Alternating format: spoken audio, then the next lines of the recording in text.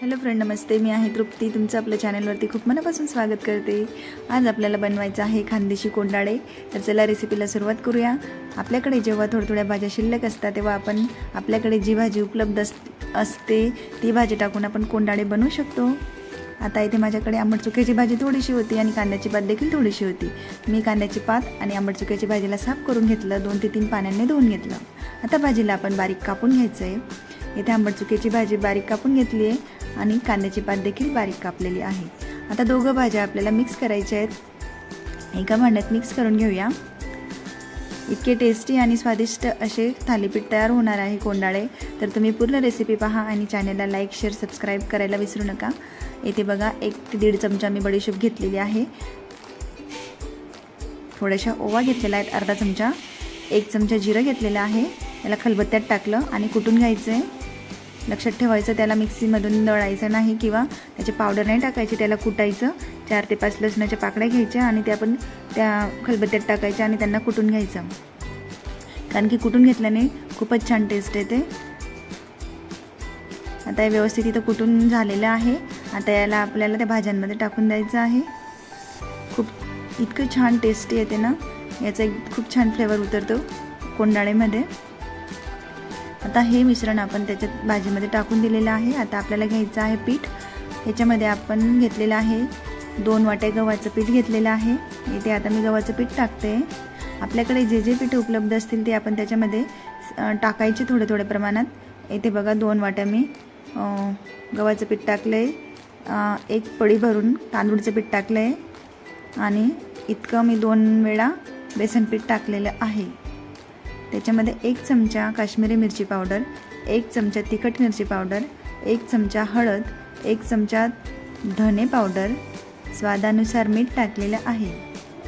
आता आपण त्याच्यामध्ये टाकूया. हे बघा इथे मी तांदूळचं पीठ टाकलेलं होतं. ही क्लिप डबल ॲड होऊन गेलेली आहे.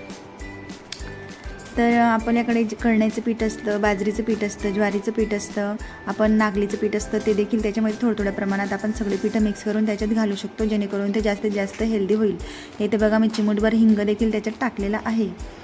आता स्वादानुसार मीठ टाकून आपल्याला याला व्यवस्थित भि भिजून घ्यायचं आहे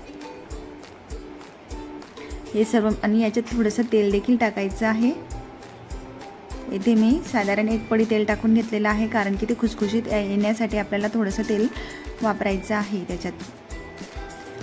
हे बघा असं आपण आता सुरुवातीला मिक्स करून घ्यायचं पाणी टाकायच्या आधी आणि नंतर थोडं थोडं पाणी टाकून त्याला भिजून घ्यायचं. लक्षात ठेवायचं हे पीठ आपल्याला जास्त कडक पण भिजायचं नाही आहे आणि पातळ पण भिजायचं नाही आहे थोडं लुसलुशीत भिजायचं आहे जेणेकरून आपले कोंडाळे खुसखुशीत आणि थोडेसे असे सॉफ्ट सॉफ्ट यायला पाहिजे. आता आपल्याला गॅसवरती तवा ठेवायचा आहे. गॅसची फ्लेम चालू करायची आणि इथे बघा लक्षात ठेवा एक पाट घ्यायचा किंवा ताट घेतला तरी चालेल. त्याच्यावरती स्वच्छ रुमाल घ्यायचा. रुमाल ओला करून टाकायचा. कॉटनचा रुमाल पाहिजे. कॉटनचा रुमाल इथे मी ओला करून घेतलेला आहे. त्याच्यावरती एक गोळा घेतला. त्याला असं थापून घेतलं आणि छिद्रे पाडले. असे गोलगोल छिद्रे पाडायचे. त्याच्यावरती मी आता खसखस लावते. इथे बघा खसखस लावलेली आहे. आपण तीड पण लावू शकतो. आता तव्याला तेल लावायचं. तेलास मस्त पसरवून घ्यायचं तव्यावरती आणि त्याच्यावरती तो रुमाल असा उलटा करून द्यायचा आणि असा हाडूचकन काढून घ्यायचा. आता याला मस्त आपण मिडियम याच्यावरती खमंग भाजून घेऊया.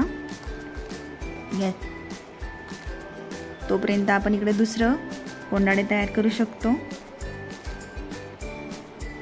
अगदी साधी सोपी पद्धतीने आपण कोंडाळे बनवतो आहे पण इतके छान असतात. यांना आपण रात्री डिनरमध्ये पण खाऊ शकतो. ब्रेकफास्टला तर ते खूपच छान असतात. हेल्दी पण असतात आणि आपल्या घरातले लहान मुलं अनेक प्रकारच्या भाजीपाला खात नाही. त्यांना आपण अशा प्रकारचे कोंडाळे करून थालीपीठ करून आपण त्यांना खाऊ घालू शकतो. आणि त्यांना ते असे होल पाडलेले असतात ना त्या कोंडाळ्याला त्याच्यामुळे त्यांना ते काहीतरी नवीनच दिसतं. त्याच्यामुळे ते आवडीने खाऊ शकतात.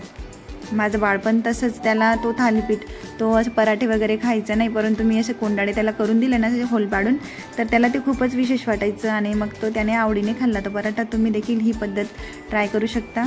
आता बघा इथे आपल्याला त्याला लक्षात ठेवायचं खमंग भाजायचं आहे त्याला कच्चं राहू द्यायचं नाही आहे मस्त इतका छान सुगंध येतो घरात. जेव्हा हे कोंडाळं तयार होतं तेव्हा. आणि इतकं हेल्दी आणि पौष्टिक असतं.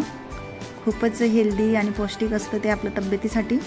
याला आपण दहीसोबत खाऊ शकतो सॉससोबत खाऊ शकतो पुदिन्याची चटणी शेंगदाण्याची चटणी खोबऱ्याची चटणी कशासोबत देखील खाऊ शकतो बघा. मस्त तयार झालं आता. याला आपण मोठ्या साईजमध्ये छोट्या साईजमध्ये बनवू शकतो. अगदी साध्या सोप्या पद्धतीने जर आपल्याला पोळ्या करायचा कंटाळा आला तर आपण अशा प्रकारे पण मस्तपैकी थालीपीठ कोंडाळे बनवून आपण खाऊ घालू शकतो. हे ते बघा मी माझ्या बाळाला दिलेलं आहे. त्याने एकदम आवडीने त्याला ते खूप आवडलं होतं. ते असं गोल होल पाडून दिलेलं आणि इतकं टेस्टी झालं होतं ते. तर विचारू नका. तुम्ही देखील एक ते दोन एक वेळा ट्राय करा आणि मला कमेंटमध्ये सांगा की कसं झालं होतं असं. इथे बघा मी आता मोठं थालीपीठ लावलेलं आहे. कोंडाळे